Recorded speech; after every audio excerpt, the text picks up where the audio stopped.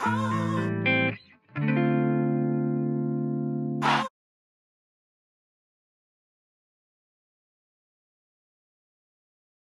Welcome, Real Talk family. So, from the title of this video, you already know what this video is going to be about. But before we get started, I will first like to say if you are a returning subscriber, thank you so much for your support. I really do appreciate it and welcome back to the channel. To those that are new to my channel and you like my content, make sure you subscribe, click that notification bell so you never miss a video when I upload. Hello, you guys. I want to touch on language arts portion of the GED test today. And I want to tell you guys that you are capable, you are able. All you have to do is believe in yourself and make sure you put forth the effort in passing this test. I want to start off by telling you guys that the test is 150 minutes. You need a passing score of at least 145. The written essay which is basically the extended response is 45 minutes. You have a couple test topics because I've been getting questions about the topics like what's going to be on the test what do i need to remember so the test topics are reading for meaning identifying and creating arguments and also grammar and language. So those are the test topics that you basically need to focus on. Make sure you are focusing on those particular topics. Also, the reading language art test assesses your ability to understand what you read and how to write clearly. So that's basically basically the purpose of the language arts GED test. I wanted to go over uh, some question. A question that I also got was, what type of essay is going to be on it? Is it an argument essay? That was one of the questions that I got from somebody who left me a comment recently, and in answering that question, I will tell you that it is yes, you are correct. It is going to be one of those arguments, I guess, that you can say um they're going to give you two different portions, right? They're going to give you evidence of whatever whoever is talking about. Say Sam is talking about this, Angela is talking about this.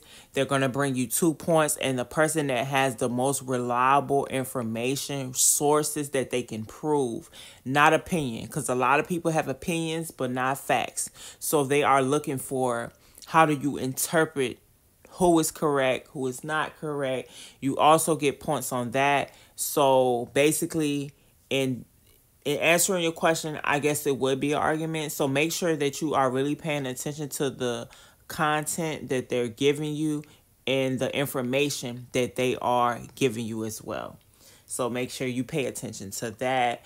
So basically, I just wanted to touch on that right quick because I have been getting a lot of questions. Um, I also do other videos. I posted social studies um video I want to say about 2 weeks ago, so go check that out if you have not checked that out.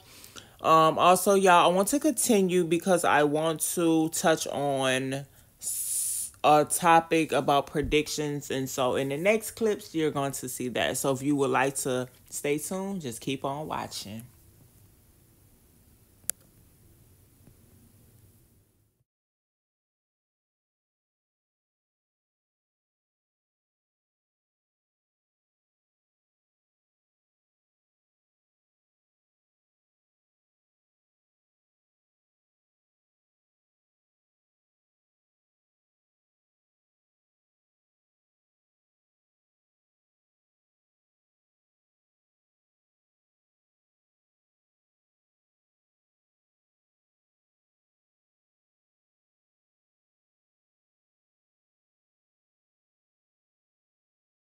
All right, you guys, so let's just go ahead and get started. We are going to be talking about predictions. When you are reading a passage, you can often predict or guess what might happen based in what you already know about a character or situation. First, understand the character or situation, then apply what you know to figure out what may happen next. Try this as you read the passage below. Selma was Selma was fired from journalism jobs at two media companies. So based on a gut feeling, she holed up in a shack on Cape Cod, one room, no basement, a space heater. She started a novel. From the beginning, she knew this was right. In five months, the novel was completed. The phone rang, and an agent she had contacted years earlier just happened to call. Luck was with her. Okay, so let's get into it. What I know about the character and situation. They gave the, the first answer to that. Selma lost two jobs. She wrote a novel, an agent called. So that's basically the information that we know off of the information that was given. What I think will happen as a result. So then you have to answer that portion and what happens as a result. The answer to that is Selma would get her novel published. Okay, and the answer is down below. So if you are unsure, you can also check your answer, and the answer is the same that we wrote in the column. By answering these questions, you will not only predict outcomes, but you will also better understand what you are reading. Take what you know about characters and situations and use them to predict what will happen next. And this can be even for life in general, you guys. So just keep that in mind that a lot of things that we learn, we do end up using those in the future. Next passage. Down the rope that hung the baby's box from the roof support, a scorpion moved slowly. His stinging tail was straight out behind him, but he could whip it up in a flash of time. Kino's breath whistled in his nostrils, and he opened his mouth to stop it. And then the startled look was gone from him, and the rigidity from his body.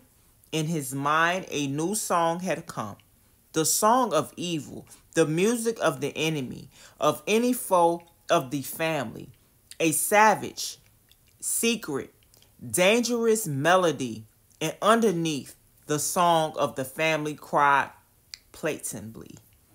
Ooh, that was a lot of information there. This actually looks like it could be maybe um, something written from a poem or something. And on the side, also tells you what it is. Say, read the passage from The Pearl by John Steinbeck answer the questions and predicting outcomes, then check your answers. Okay, so let's just go ahead and get right on into the question. It says, What do you think will happen next? Let's read the answer choices that they given. A. Kino will be too scared to help the baby. B. Kino will kill the scorpion. Which one is it? The answer is B. Kino will kill the scorpion. And we know that because of the information that was given in the passage. So you just really have to excuse me, pay attention to what you're reading because you you've been given that information for a reason. Next question. What information about Kino helped you make your prediction? Was it A, the startled look was gone, or was it B, Kino's Kino's breath whistled in his nostrils? Okay, so the answer is A. The startled look was gone. Answers you should have chosen number two, B, and we chose B. Kino would kill the scorpion. And three is A. The startled look was gone. So those are the answers to that. And so I'm going to do a couple more passages with you guys so you guys can just kind of get the gist of predictions.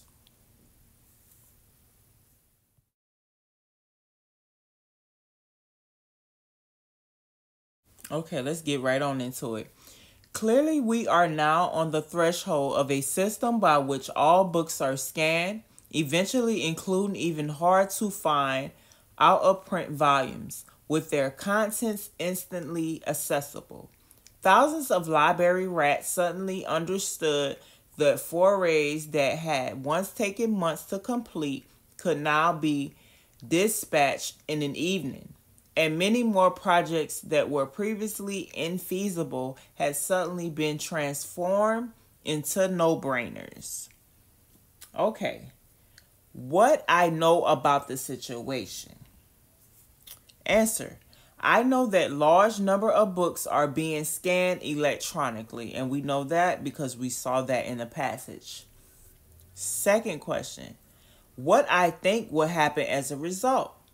All books will be scanned and research will be easier. So basically, I just know that because of the information that I was given, and I make a prediction based off of the information that I was already given. Okay, let's get down to the last passage.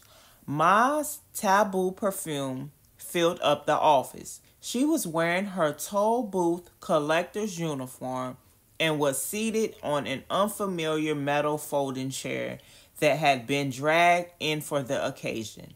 My school records were fanned out across Mr. Pucci's desk. Sit down, Dolores. Sit down, he began. His palm was extended out toward my regular seat. His smile was unfamiliar. I've asked your mother to come in today so that the three of us can talk about your future. It was a setup, an ambush. Can we do it some other time? I said. I have an important quiz to study for. Plus, I think I may be getting a migraine. Ma was snapping and unsnapping the clasps of her pocketbook. I've gotten all from work special. Dolores, I think we should both hear what Mr. Pucci has to say. Hope I'm saying that right. I was suddenly, blatantly aware of secret telephone conversations between them. The revelation made me limp. I sat. Question what do you think is most likely to happen next? A. Dolores' mother won't believe what Mr. Pucci has to say. Or B. Dolores' mother will get angry with Dolores for her behavior in school. And the answer choice is going to be B.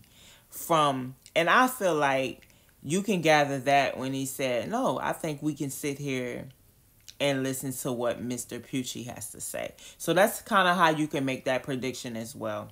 All right. Number four, list two pieces of information from the passage that help you make your prediction. So I wrote, it was a setup, an ambush. I was suddenly blatantly aware of secret telephone conversations between them. So that's basically how you can get your answer in doing so by just basically looking at the information, looking at what's being said, looking at who's saying what, the answers that they're replying to whatever is being said. So I want to give y'all a little assignment. And the extension is going to read the past, read the first page of a story, make a chart like the one above, and write down what you know about the characters and situation then predict what might happen next. So just because a lot of people like to ask me, what do I do? What do I study? So here's a assignment for you to do where you can better understand predictions and see how they use predictions in your upcoming language arts GED test. I want to wish you all so much success. I want to thank you all so much for your support.